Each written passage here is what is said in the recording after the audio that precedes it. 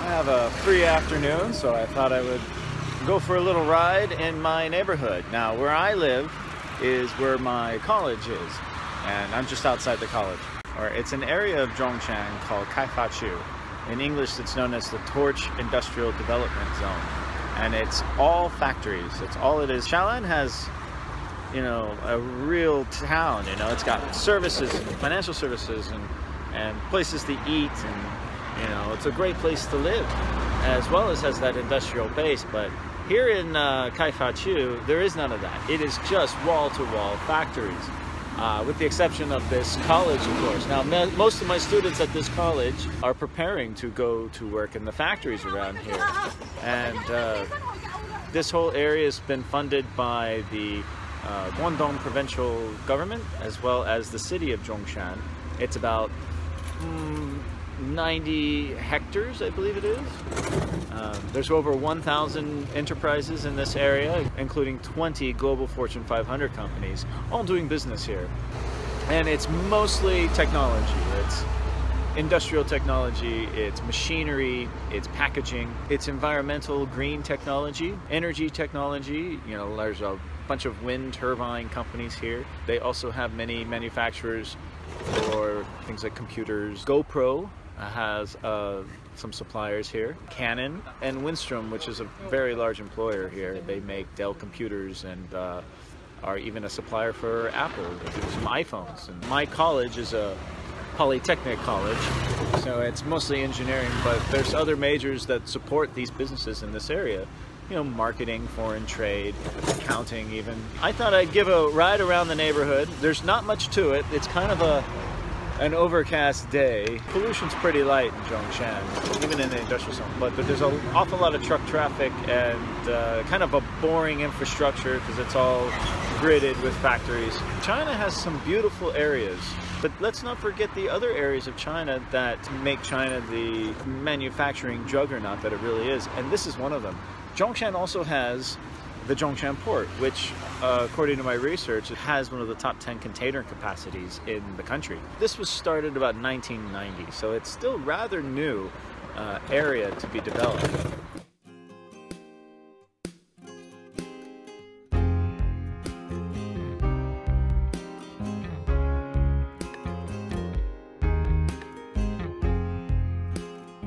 Bike path next to the main street so that uh, people can ride their e-bikes and their regular bicycles.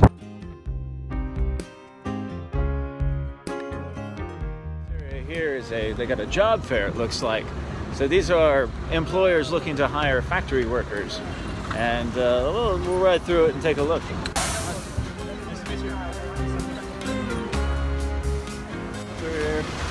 Hello. Oh, there he goes. Yeah, see? Yeah. Hi, how you doing, Very friendly people everywhere here. Hello. Hello.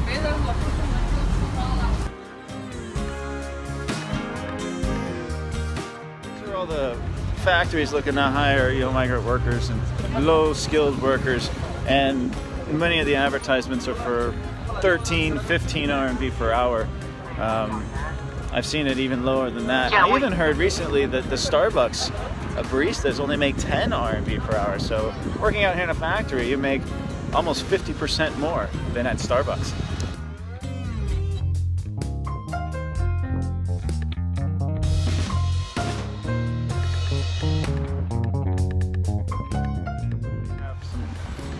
information about future development and infrastructure projects and there's infrastructure projects everywhere out here. It's continuously improving. Big overpasses and apparently they're even going to do some uh, some light rail here as well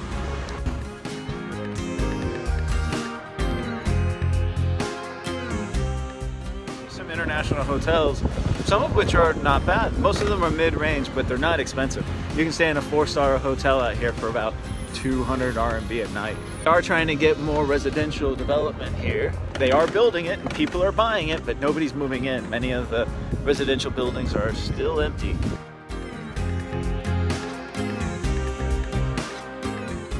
So behind me, this is the Zhongshan passenger port where the ferries that take you to Hong Kong and you can go down to Zhuhai, you can go anywhere really, mostly to Hong Kong. But in this part, you've got little parks like this but they're not used very much.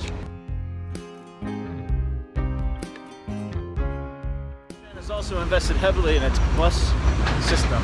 They have these new double-decker buses, very much like Hong Kong. Here, next to the ferry terminal is the uh, container port. Now I'm not going to ride down there because it's very dangerous with all the truck traffic. But I have been down there, I've driven by it before, and it's just mile after mile of cranes and container facilities, and it just goes on and on and on.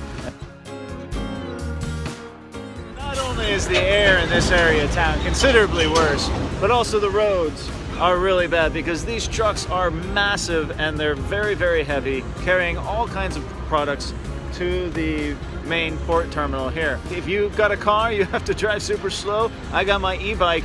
I can't go any further because these roads are really bad. I mean, if you head south from the container port a little bit, uh, things quiet down quite a bit. As you can see, these roads are completely empty right now.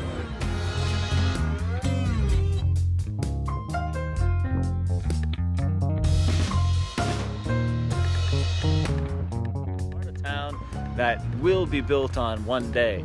But Zhongshan is very good at trees and gardens and they've really put a lot of money and time in when they built this infrastructure to make it beautiful. It's just not used.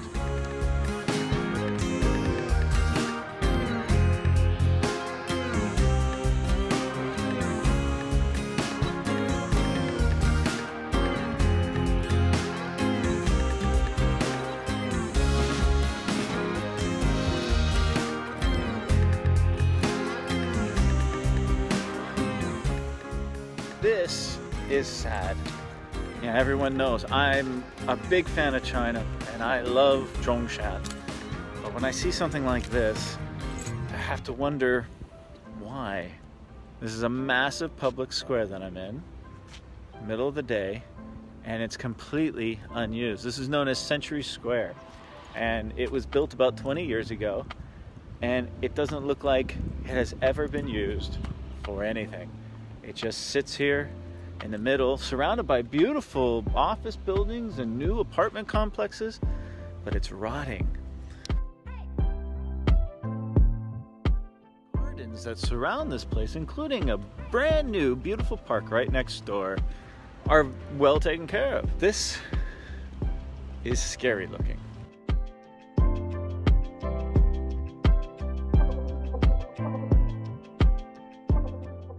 strange thing to see in an otherwise pristine and beautiful city. I hope that one day, as this part of town matures and gets a little bit more, I want to say, affluent perhaps, if the economy continues to stay strong, that this whole area will get turned around because it's a prime location and it would really make this a wonderful place to live. Other than the little village of Zhangjiabian, which we'll go to next, in the Torch Development Zone, there is no shopping except for this one mall that has a very familiar look to it. They call this the Sunshine Mall, and it's actually literally modeled after the United States Capitol building. It does have a Pizza Hut, it has a KFC, and it does have a Walmart. Walmart is its anchor store. It's in the basement, it's the entire basement.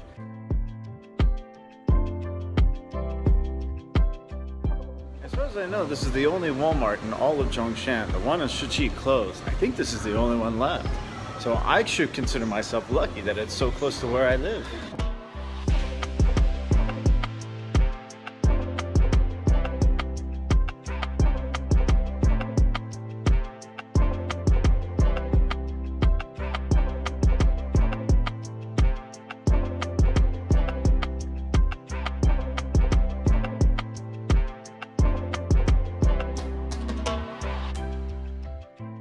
Wish I can go in here and take a look around. I love abandoned places.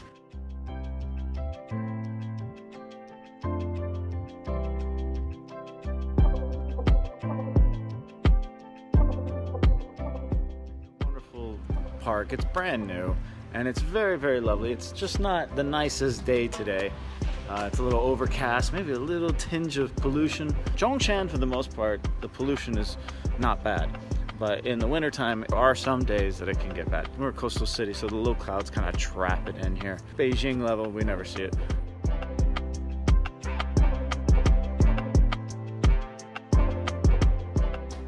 So I've come to the giant expo center here in the Torch Development Center. I have never seen this area in use. Uh, I've driven by it many times. I'm sure that they do use it for some things, but I've never seen these fountains on and um, for the most part it seems to be very very desolate. Now there is a beautiful looking art museum right here. Uh, I know Zhongshan has a few art museums this one's called the Shengrong International Zhongshan Art Museum. It looks very cultural. I think I'll go in there someday, but it's basically that building is a mirror of this building.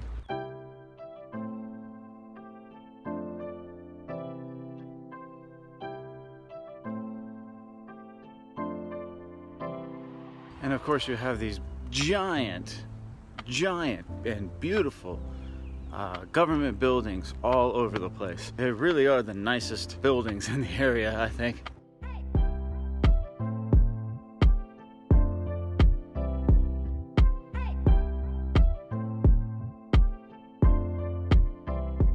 something kind of interesting.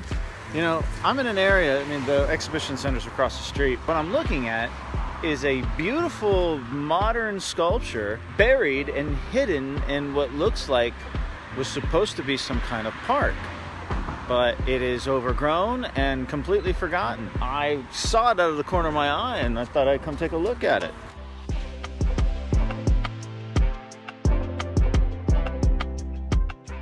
Very strange to see things like this.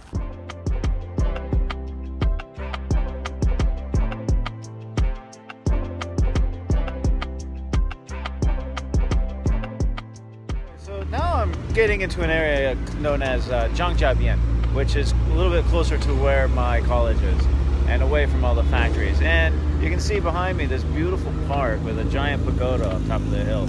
I haven't explored this park yet. I can't wait to do it. It's not a large park. I'm not going to do it today because I have groceries on my back. But uh, there are many parks surrounding this area, just like this with hills, that really are the hidden gems of Zhongshan.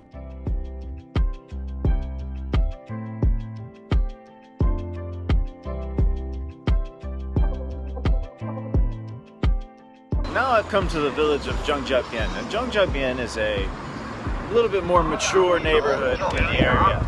This is a, a, very busy little market street. There's tons of people here at night. It's just completely packed.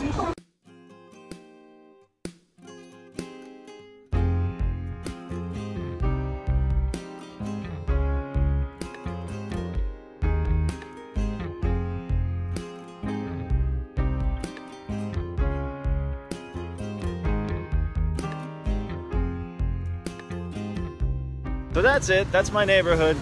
It's, uh, again, I miss Shiqi. Don't get me wrong. I, I loved living down there. This is about 30 to 40 minutes on the bike, about 30 to 40 minutes on the bus away from Shiqi. Again, this is my neighborhood right outside my college, and it's peaceful. It's a little, it's a lot more blue collar. It's not nearly as affluent as my old neighborhood in Shiqi, but uh, it's got its own charm to it. It really does. It's a little bit older population, you know, people playing ping pong in the park. Check it out. People just hanging out in the park. A beautiful park too. Uh, it's attached to this uh, this hill with a, a temple on top that I'll go explore sometime in the future.